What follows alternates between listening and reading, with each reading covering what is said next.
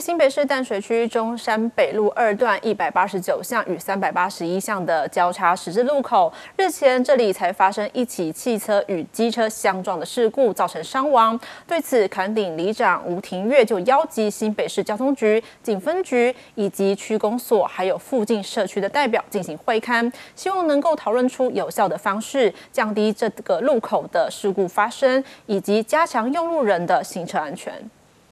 位在新北市淡水区中山北路二段一百八十九巷与三百八十一巷的交叉十字路口，日前这边才发生一起汽车与机车相撞的事故，造成伤亡。对此，坎顶里里长吴庭月日前邀集新北市交通局、警分局以及区公所，还有附近社区代表进行会勘，希望能够讨论出有效的方式，降低这路口的事故发生，与加强右路人的行车安全。然后再请交通局评估一下这边的。流量大概呃，如果深设红绿灯的话，会不会影响车流？那如果说他们评估说不会影响车流，那我们就基于安全的考量，我们就来增设红绿灯。基本上这边就是长期因为呃没有红绿灯、没有交通号志的状况下，所以大家在行驶这个路段的时候，常会因为抢快或是没有。注意到旁边支支线道的车辆，所以导致一些擦撞。其实这边车流，因为这附近有几个幼儿园，然后还有一些托育的场所，所以再加上这边住户，其实基本上是住户率是蛮多的，所以其实车流量是非常的大。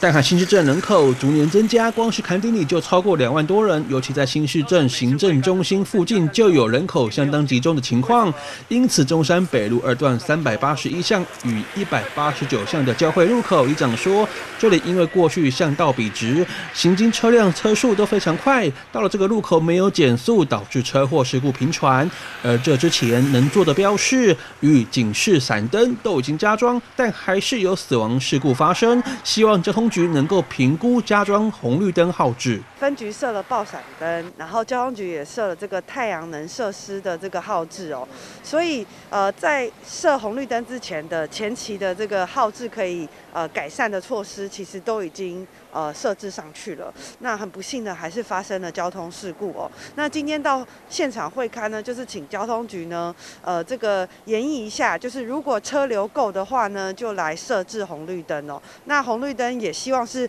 时段性的去呃这个执行哈，让这个交通车流的问题不要呃这个造成打劫。附近有许多的住户大楼，每天经过的汽机车也非常多。过去也请市府交通局加装了黄色警示闪灯与爆闪灯。李长表示，新北市交通局在评估之后，会针对事故的件数统计以及车流量评估来研议是否装设红绿灯号志。当然，装设也会与干道号志进行联动设计。而另外，这附近也有幼儿园，车流量也非常大。若评估合可的话，以安全考量，希望可以装设红绿灯号志，可以有效的减低经过这里路口车辆的速度，避免再有事故发生。记者许端一淡水采访报道。